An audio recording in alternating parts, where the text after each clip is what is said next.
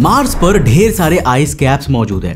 तो मार्स को टेराफॉर्म करने के लिए हम उस पर सीरीज़ ऑफ़ थर्मोन्यूक्लियर एक्सप्लोजन करके वहाँ की आइस कैप्स पिघला सकते हैं जिससे मार्स का एटमॉस्फेयर भी गर्म हो जाएगा और वहाँ के आइस कैप्स पिघल कर पानी का रूप ले लेंगे। अब ये आइडिया मेरा नहीं है बल्कि दुनिया और रिकॉर्डेड हिस्ट्री के सबसे रईस आदमी इलोन मस्क का है। The fast way is, is drop thermonuclear weapons over the poles. लेकिन क्या ये सच में इतना आसान है? और क्या ऐसा करना वाकई लॉजिकली सेफ़ है भी या नहीं?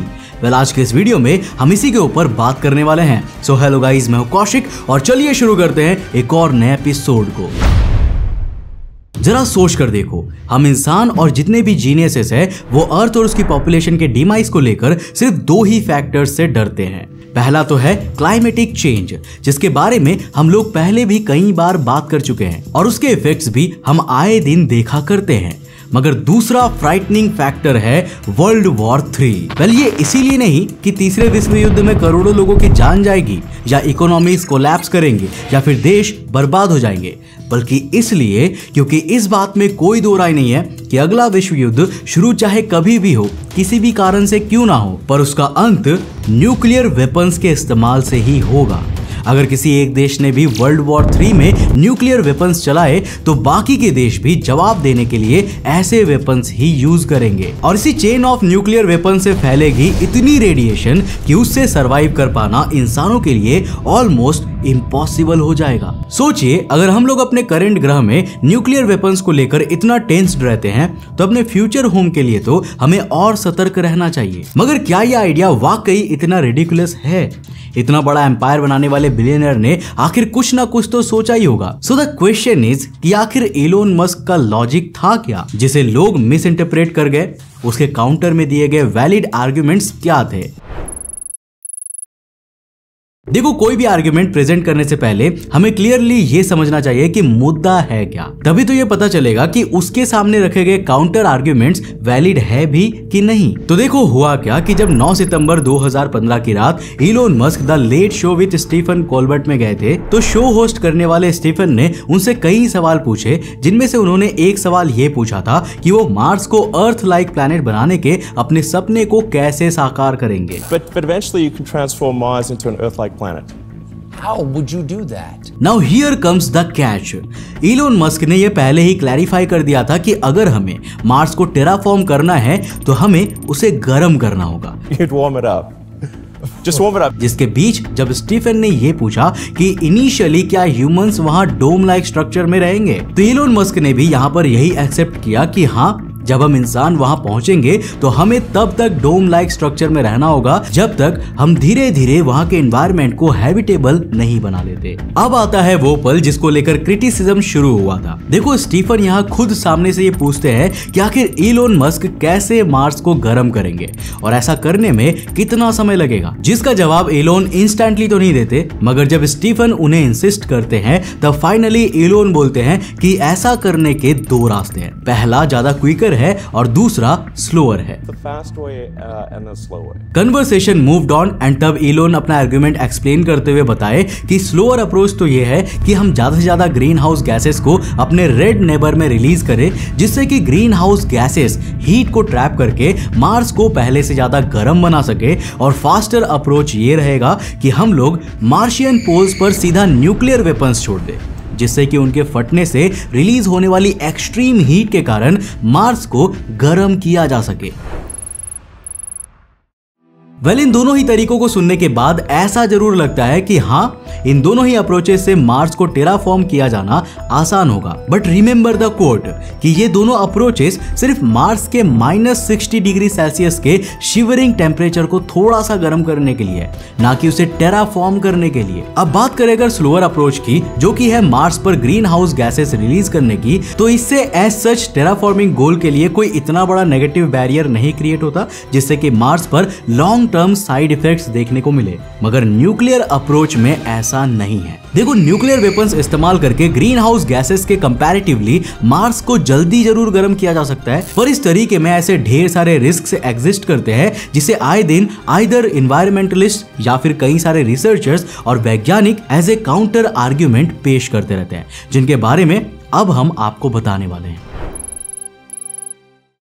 देखो, सबसे पहला और सबसे बड़ा क्रिटिकल एक्यूजेशन है न्यूक्स की रेडिएशन अब नो डाउट न्यूक्स को मार्शियन पोल्स पर डेटोनेट करने से आइस कैप्स और सरफेस रॉक्स में मौजूद पानी लिबरेट यानी कि आज़ाद हो जाएगा। पर इन्हीं न्यूक्लियर वेपन से फैलेगी ढेर सारी रेडिएशन जिसे ट्रैप करने का कोई भी सोर्स मार्स पर अवेलेबल नहीं है। एक और बात यह है की अर्थ पर एटमोस्फेयर की मौजूदगी के चलते न्यूक्लियर वेपन के इफेक्ट्स एक रेंज के बाद ना थमने लगता है और फिर नेग्लिजिबल हो जाता है। मगर मार्स की एटमॉस्फेरिक लेयर तो ना जाने कब से उड़ चुकी है, जिस वजह से वहाँ न्यूक्स डेटोनेट करने के बाद एक बहुत बड़ा चांस है कि उस न्यूक्लियर वेपन का रेडिएशन इफेक्ट्स रुकने का नाम ही ना ले और पूरा प्लेनेट इरेडिएट कर दे making it even more inhabitable for humans चलो रेडिएशन भी कभी ना कभी तो खत्म होगी ही। ऐसे बहुत से लोगों का आर्ग्यूमेंट होगा। बट अगेन मार्स धरती से बहुत ज़्यादा डिफरेंट है। देखो अर्थ पर हुए डेडलीस्ट न्यूक्लियर अटैक हिरोशिमा पर एक्सप्लोजन के 60 डेज़ और नागासाकी पर एक्सप्लोजन के 47 डेज़ बाद तक मैक्सिमम रेडिएशन इफ़ेक्ट रहे थे। जबकि वहीं अगर आफ्टर इफेक्ट्स की बात की जाए तो एनसीबीआई के ऑफिशियल वेबसाइट के डेटा के अनुसार इनिशियल 1950s तक ही रहे थे। सोचिए अर्थ जैसे एक्टिव एटमॉस्फेयर होने के बाद जब रेडिएशन 60 डेज़ तक अपने मैक्सिमम स्टेज और पाँच साल तक अपने आफ्टर इफेक्ट्स दिखा रही थी। तो मार्स के लिए तो ये अंदाज़ा दिया जाता है कि वहाँ ऐसी न्यूक्लियर बम्बार्डमेंट के बाद कई डिकेट्स यानी कई दशकों तक लग जाएँगे रेडिएशन को ह्यूमंस के हिसाब के एक्सेप्टेबल लेवल तक आने में। मीनिंग कि ना सिर्फ़ फास्टर अप्रोच बहुत ज़्यादा हार्मफुल है, बल्कि टेराफॉर्मेशन के लिए फास्ट भी नहीं है, जैसा कि एलोन मस्क मान रहे थे।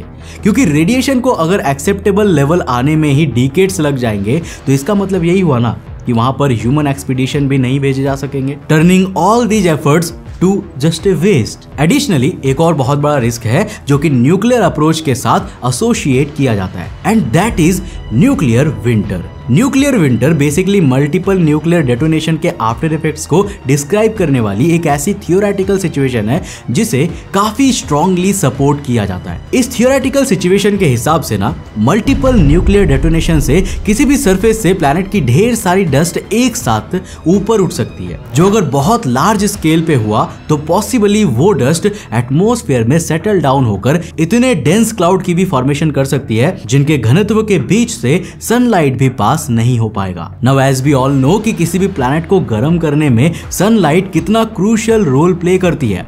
ऊपर से मार्स तो वैसे ही ऑलरेडी बहुत ठंडा है। तो अगर ऐसे ही कंडीशंस न्यूक एक्सप्लोजन के बाद मार्स पर बनी ना तो कहीं ऐसा ना हो जाए कि हम लोग उसके टेम्परेचर को गर्म करने के चक्कर में उल्टा उसे और ज़्यादा ठंडा करने के डिराइविंग फैक्टर बन जाए। ऑल्दो ये बात भी सच है कि मार्स का एटमोसफियर उतना थिक और डस्ट ट्रैप करने वाला नहीं है, जितना कि पृथ्वी का है। मगर कब कौन सी अनएक्सेप्टेड फोर्स किस अनबिलीवेबल रिज़ल्ट का कारण बन जाए, ये हम सैकड़ों बार स्पेस साइंस के हिस्ट्री में देख चुके हैं। देखो न्यूक्लियर अप्रोच एक बहुत ही डम्ब आइडिया है, जिसे आप चाहे कितने ही सिमुलेशन में या फिर कितने ही तरीके से क्यों ना जज कर ले। ये idea as a result harmful और पहले से ज़्यादा डीले वाला ही फील होता है, जो हमारे टेरा फॉर्मेशन के गोल में बैरियर्स ही डालेगा।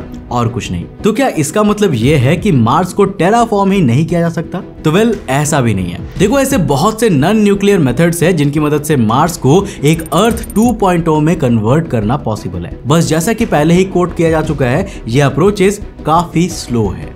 For example green house gases को मार्स में रिलीज़ करने वाला आइडिया जो भले ही धीरे असर करेगा, पर इफ़ेक्टिव रिज़ल्ट ज़रूर देगा। और देखो, जल्दी का काम तो होता ही शैतान का है। ऐसा क्विकर सोल्यूशन भी किस काम का जो पूरा प्लेनेट ही डिस्ट्रॉय कर दे? इससे अच्छा हमें एक समय पे एक स्टेप लेना चाहिए। As we all know all the great things in the world takes time वैसे यहाँ पर आप थोड़ा सा टाइम निकालकर हमारे इस वीडियो को लाइक कर सकते हो। आपके एक लाइक से हमें काफ़ी मोटिवेशन मिलता है आपके लिए इंटरेस्टिंग वीडियोस बनाने में। और साथ ही साथ चैनल के सब्सक्राइब बटन को भी ज़रूर दबा लेना। अब देखो दोस्तों, जब तक इसमें समय लगेगा, तब तक आपको कुछ नहीं करना, बस अपने करेंट होम को सिक्योर रखना है छोटे छोटे स्टेप्स लेके। एनर्जी कंजर्व करके और जितना हो सके यहाँ पे उतना कम ग्रीन हाउस गैसेस रिलीज़ करके। क्या पता हमारे ये छोटे से स्टेप्स ह्यूमैनिटी और अर्थ को इतना सस्टेनेबल बना दे कि हमें अर्थ 2.0 ढूँढने की ज़रूरत ही ना पड़े। हालाँकि ऐसा सिर्फ़ एक नन न्यूक्लियर तरीका नहीं है जिससे कि मार्स को टेराफॉर्म किया जा सकता है, बल्कि और भी कई सारे मेथड्स हैं, जैसे कि एस्ट्रॉइड्स मैनिपुलेट करना थ्रस्टर्स यूज़ करना, वगैरह वगैरह। और अगर आप ऐसे ही non nuclear methods to terraform Mars पर एक इंटरेस्टिंग वीडियो देखना चाहते हो ना तो हमें नीचे कमेंट करके जो बताना। अगर आपके कमेंट्स ज़्यादा हुए तो मैं इस टॉपिक पर डेफिनेटली एक वीडियो लेकर आऊँगा। वैसे दोस्तों, अगर आप भी अंतरिक्ष टीवी के पक्के वाला फ़ैन हो और आप हमें सपोर्ट करना चाहते हो तो आप हमारे मर्चेंडाइज को खरीद कर हमें सपोर्ट कर सकते हो। नीचे शॉप वाले लिंक पे आपको हमारे सारे टी शर्ट्स और हुडीज दिख रहे होंगे, उन्हें खरीद कर आप हमें सपोर्ट कर सकते हो। आपके एक छोटे से सपोर्ट से अंतरिक्ष टीवी सबके लिए फ्री रह सकता है और हमेशा ऐसे इंटरेस्टिंग वीडियोस बना सकता है। दोस्तों, अगर आप नए चैनल पे तो चैनल को सब्सक्राइब करने के साथ साथ नोटिफिकेशन बेल कॉन कर देना। मैं मिलता हूँ आपको नेक्स्ट एपिसोड के साथ, तब तक के लिए बाय जय हिंद।